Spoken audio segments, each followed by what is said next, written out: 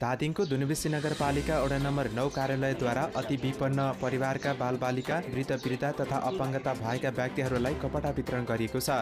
वडाका विभिन्न विद्यालयमा अध्ययन गर्ने अति विपन्न गरिब परिवारका विद्यार्थीहरूका लागि स्कुल ड्रेस धुनुबेसी नगरपालिकाका मेयर बालकृष्ण आचार्य र उपमेयर निरु खरेलले मङ्गलबार एक कार्यक्रम बीच वितरण गर्नुभएको हो।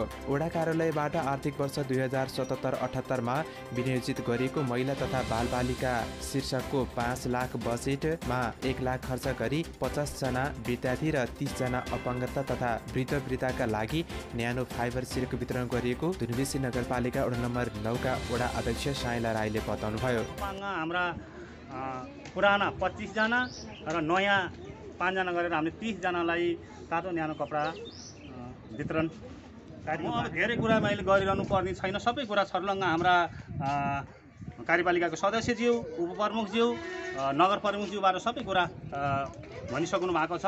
म मात्र एउटा छोटो अहिले किनकि समयको पनि बावजुद हाम्रा प्रमुख अतिथिज्यूको अन्यत्रै अझ कार्यक्रम छ। उहाँले यो कार्यक्रमको बावजुद पनि समय हामीलाई अलिकति दिएर पाल्नुभएकोमा उहाँलाई धेरै धन्यवाद दिनु पनि चाहन्छु फेरि। र म के भन्न चाहन्छु भने आज यस यो अपाङ्गहरूको लागि हाम्रो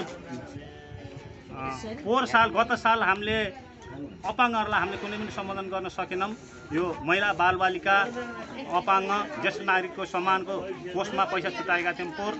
हामीले कुनै एक चिज मात्रै हामीले काम गर्न सकेनौँ किनकि हाम्रो कोभिडको कारणले गर्दा हामीले पोहोर काम गर्न सकेनौँ। त्यसैको सन्दर्भमा अहिले हामीले महिला बालबालिका लक्षित शीर्षकमा पाँच लाख विनियोजन गरेका थियौँ।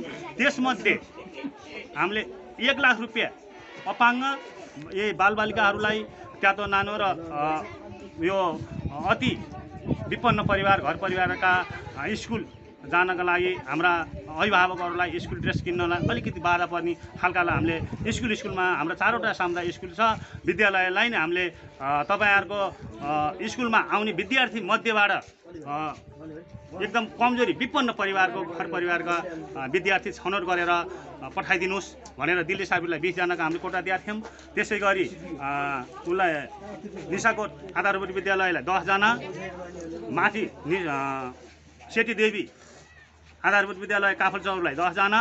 त्यसै गरी दिल्ली सावित्री आधारभूत विद्यालय होइन बारेदेवी आधारभूत विद्यालय जुइडीलाई दस दसजना गरेर जम्मा पचासजनाको कोटा दिएका थियौँ। त्यसै अरू हामीलाई उहाँले नाम दिनुभयो र उहाँलाई अति विपन्न घर परिवारको चाहिँ छात्र छात्र बालबालिकालाई कपडा वितरण यो कार्यक्रम राख्यौँ। त्यसै गरी हामीले अपाङ्गहरूलाई पनि तातो न्यानो हाम्रो ढिलै भयो। अघि नै मेयर साहबबाट आइसक्यो। ढिलै भए तापनि हामीले अहिले सम्बोधन गर्न लागेका छौँ। किनकि यो विविध कारण हुँदो रहेछ कोभिड भनि कोभिडको कारण र यो आर्थिकको कारण हरेकको कारणले गर्दा हामी र हाम्रो एउटा निर्णयको गर्नुपर्ने। हामी एक एक्लैले मात्रै निर्णय गर्न नसक्ने र हाम्रो पनि कार्यपालिका वडा कार्यपालिकाको पाँचजना छौँ पाँचजना मात्रै निर्णय हुनुपर्ने। त्यसै गरी यस वडामा रहेका बुद्धिजीवी समाजजीवीसँग पनि सोधखोज गर्दाखेरि एउटा निर्णय गर्न अलिक ढिलो भएर अहिले हामीलाई एक महिना जति ढिलो भएकोमा भयो। यसमा चाहिँ म पनि क्षमा प्रार्थी गर्न चाहन्छु।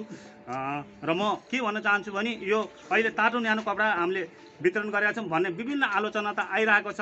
के पोहोर हामीले यो अपाङ्गलाई हामीले सम्बोधन गर्न सकेका थिएनौँ। र अहिले साल हामीले गऱ्यौँ पोहोर ज्येष्ठ नागरिकलाई गऱ्यौँ पोहोर हामीले यो स्कुलका चारवटा स्कुलका बाल क्लबलाई हामीले सम्बोधन गऱ्यौँ कि खाजा प्रोग्राम आएको थियो? खाजा प्रोग्राम त आयो तर उहाँले के पकाएर खाने? पकाउने भाँडा ग्यास चम्चा प्लेट हामीले बाल क्लबलाई वितरण गऱ्यौँ पोहोर। भने अहिले त्यसै गरी अहिले बालबालिकाको उसमा र पचासजना बालबालिकालाई वितरण गरेका छौँ।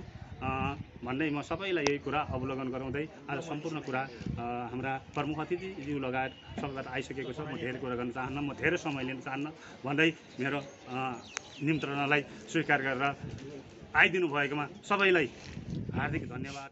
कार्यक्रममा नगरपालिकाका उपमेयर निरु खरेलले नागरिकको जनभावनालाई कदर गर्दै कार्यपालिकाको बैठकबाट पारित गरिएको निर्णय अनुसार स्कुल ड्रेस र फाइबर सिरक वितरण गरिएको बताउनुभयो।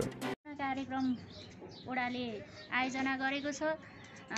लक्षित कार्यक्रमबाट यो एकमुष्ट पाँच लाखबाट विनियोजित ती त्यो पैसा मध्येबाट एक लाखको कार्यक्रमबाट पनि तपाईँहरूलाई सम्बोधन गर्ने गरेर चाहिँ यो ओडाले यसरी तपाईँहरूलाई सम्बोधन कार्यक्रम राखेको छ।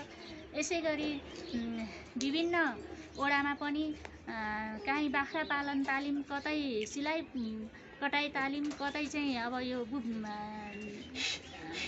बुटिक तालिमदेखिबाट लिएर योभन्दा अघिल्लो वर्ष पनि विभिन्न खालका कार्यक्रमहरू हामीले समुदाय बिच लगेका छौँ।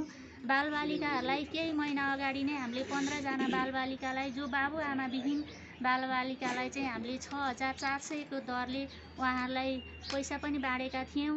र जो कोही बालबालिका पढाइ शिक्षाबाट खानाबाट स्कुलको ड्रेसबाट कोही पनि वञ्चित नहुन् भन्ने र सबैले उच्च शिक्षा हासिल गर्नु गर्नुपर्छ भन्ने मानसिकताका साथ नगरपालिकाले विभिन्न आयोजनाहरू यस्तै नगरपालिकाका मेयर बालकृष्ण आचार्यले यस किसिमको कार्यक्रम गरेर विपन्न बालबालिका तथा अपाङ्गता र असहायहरूलाई केही राहत मिलेको बताउनुभयो। नगरले आगामी दिनमा समेत असहाय तथा विपन्न नागरिकहरूलाई सहयोग गर्ने मेयर बालकृष्ण आचार्यले बताउनुभयो।